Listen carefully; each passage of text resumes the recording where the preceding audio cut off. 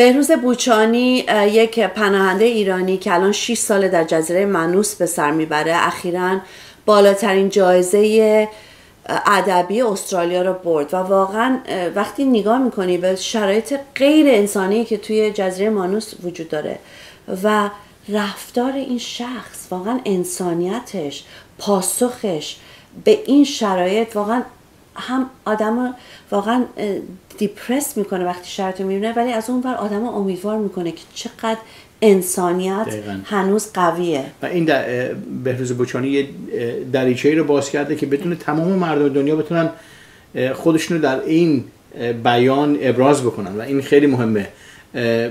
و در واقع نورافکن رو میندازه تو به وضعیت پناهنده ها و کسایی که متقاضی سرپناه هستن که دارن فرار می‌کنن شرایط متفاوت تو دنیا. در این حال یک تصویر نشون میده چطوری بنیان سیاست های پناهنده پذیری استرالیا و خیلی کشورها کاملا ضد انسانی ها. اینو نشون میده. شما استرالیا اینا رو گذاشته اینجا هیچ پایان نداره. قرار نیست به بررسی بکنن وضعیتشون. قرار اینجا تا آخر عمرشون باشن بدون هیچ امکاناتی و بدون هیچ آینده و انسانیتش ازشون در واقع دزدیدن این کار کردن و خب می‌دونیم که توی استرالیا کمپین های زیادی هست از کسایی که دارن تلاش می‌کنن که این افراد بیارن به خاک استرالیا.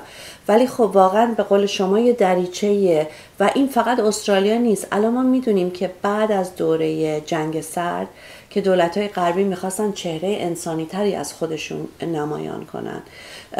بعد از اون دیدیم که الان واقعیت و واقعیت کریهشون خیلی مشخصه که اصلا براشون حق انسان اهمیت نداره.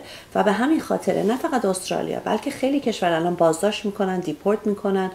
تو خود می‌دونین برای کسایی که دارن سعی می‌کنن وارد مرز اروپا بشن از هر 18 نفر که وارد میشن یه نفر میمیره. یعنی فکر کن تعداد چقدر وسیعی داره توی خود دریاها غرق میشه. و اتفاقا میای کمکشون هم بکنی یه جرم الان محسوب میشه مثل ستنسد 15 که الان دادگاهی شده بودن. دادگاهی به خاطر می‌خواستن جلوی دیپورت و برگردونن یه سری پناهنده ها رو به نایجریا و گانا فکر کنم بگیرن و اینا رو دستگیر کردن و می‌خواستن تحت قوانین علیه تروریسم اینا رو محاکمه بکنن و حکمشون می‌تونست تا آخر عمر توی زندان باشه حبس ابد باشه. و وقتی نگاه می‌کنی که چطوری کسایی که دارن از حقوق انسان با اینکه جلو کشته شدن انسان ها رو دارن می‌گیرن. دولت انگلیس می‌تونه این کار رو بگیره بکنه و اینا رو تحت قوانین ضد تروریستی بگیره به محاکم بشه. واقعا شرم‌آوره. خب و این کشوریه که نخست وزیرش که امروز سر کاره ترزا می 16 تا فکر کنم 16 تا بررسی رو که خود دولت انجام دادن تحقیق کردن و گفتن که در واقع پناهنده ها و مهاجرا به مملکت هیچ نصر منفی ندارن. توی کنفرانسش میگن میگه کسایی که کسایی که ناراحتن از پناهنده اینجا میان حقوقشون بارن میارن حق دارن این کار بکنن. اصلا آدم باور نمی‌کنه که چطوری می‌تونه تو روز روشن یه سیاست ضد انسانی رو تبلیغ بکنن.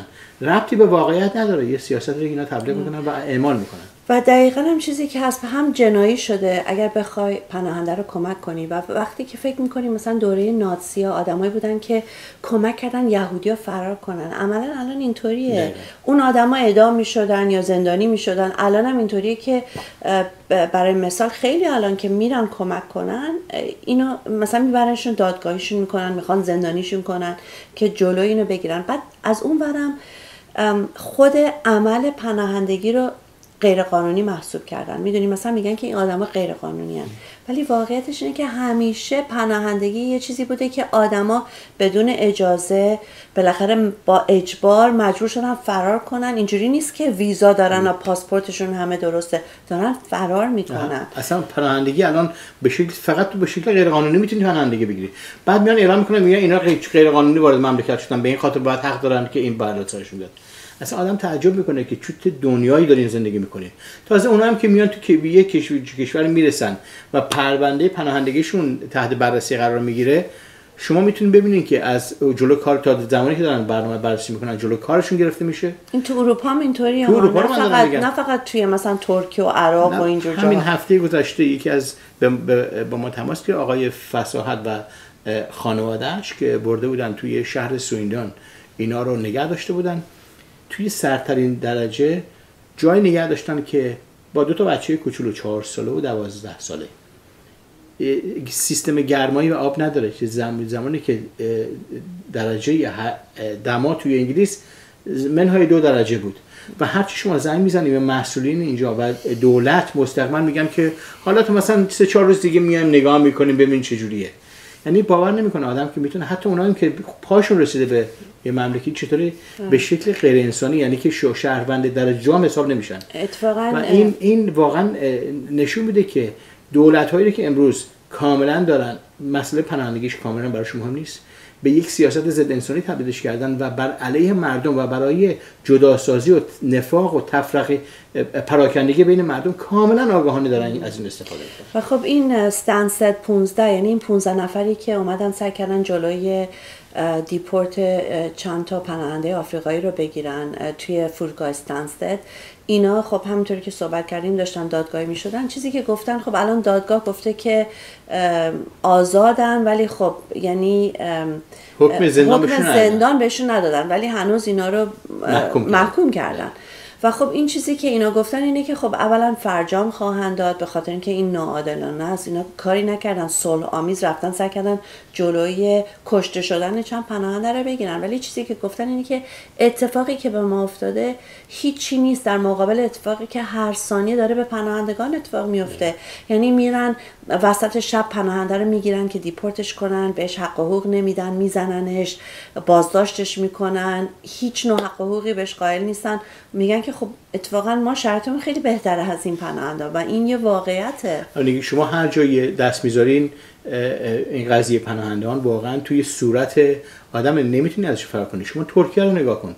ترکیه تعداد پناهنده های ایرانی که توی ترکیه هستن با یه وضع رو هستن که یونات سازمان ملل اصلا قضیه پناهندگی رو عملا تحویل دولت ترکیه داده و دولت ترکیه هم همه می‌دونن که دولتیه که دستش رو دست داعشه از یه طرف دستش با جمهوری اسلامی همکاری می‌کنه. تمام مسئولین دولتی دولت ترکیه الان همه از این مسلمان هستن که تو بگی من ضد آدم بی خدایی هستم از حکومت اسلامی و مذهبی ایرانی در رفتم یا از برای حقوق زنان دفاع کردن یا اینکه نمی‌خواست می‌خوام جوانی هستم می‌خوام زندگی غیر مذهبی داشته باشم. شما کاملا محکومی تو این شرایط و سازمان هیچ مسئله در مورد این قرار نمی‌گیره.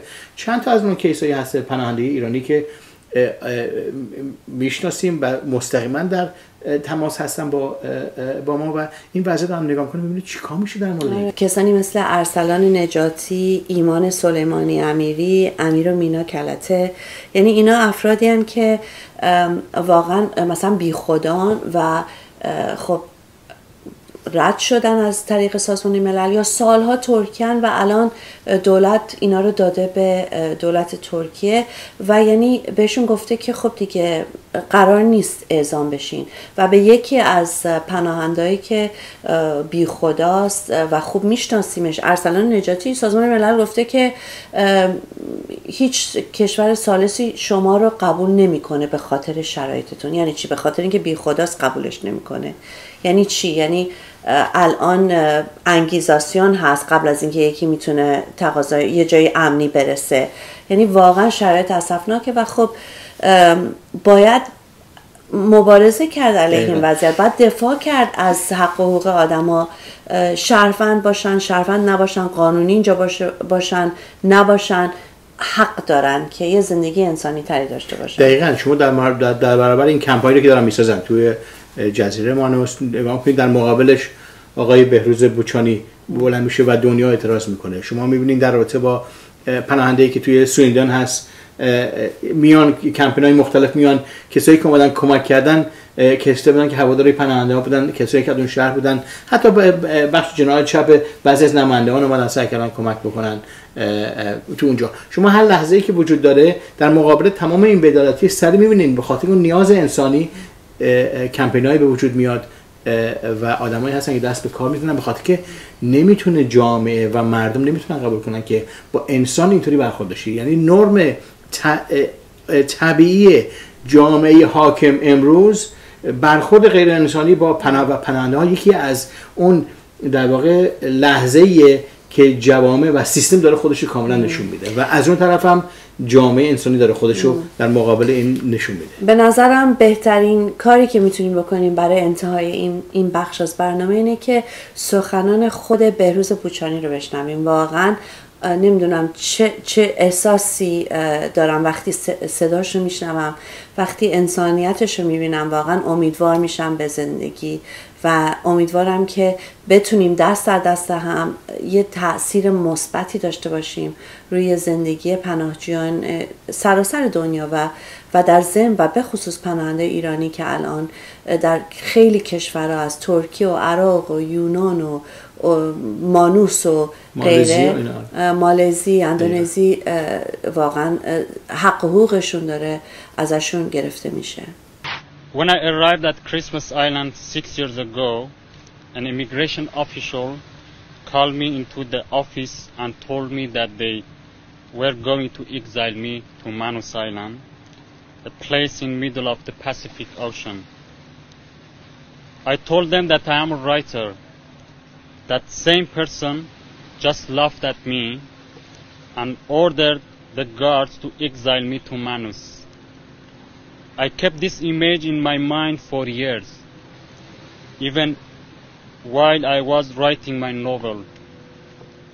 And even right now, as I am writing this acceptance speech, it was an act of humiliation when I arrived in Manus, I created another image for myself. I imagine a novelist in a remote prison.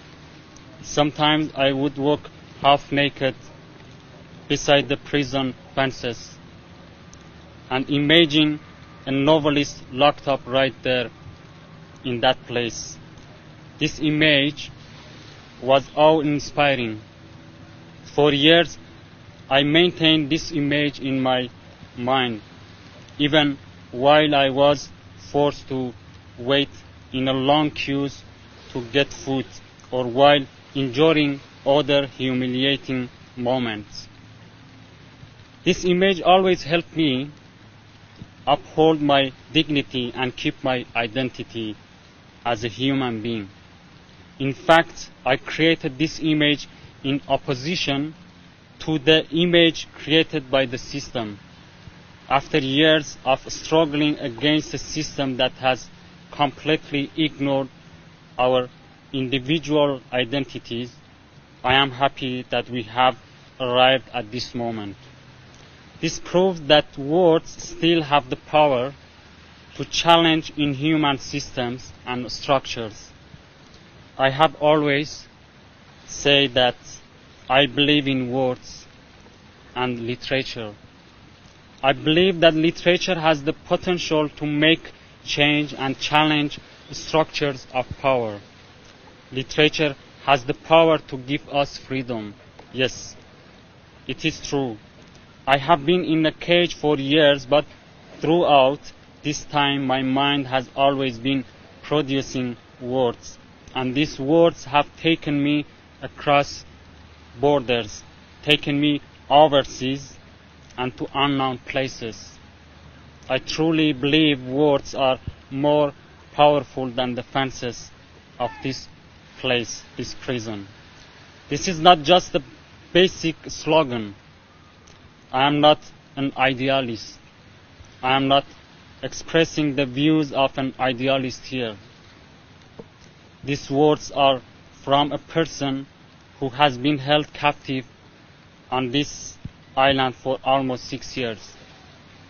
A person who has witnessed an extraordinary tragedy unfold in this place. These words allow me to appear there with you tonight. With humility, I would like to say that this award is a victory it is a victory not only for us, but for literature and art, and above all, it is a victory for humanity, a victory for human being, human dignity, a victory against a system that has never recognized us as human beings. It is a victory against a system that has reduced us to numbers. This is a beautiful moment. Let us all rejoice tonight in the power of literature.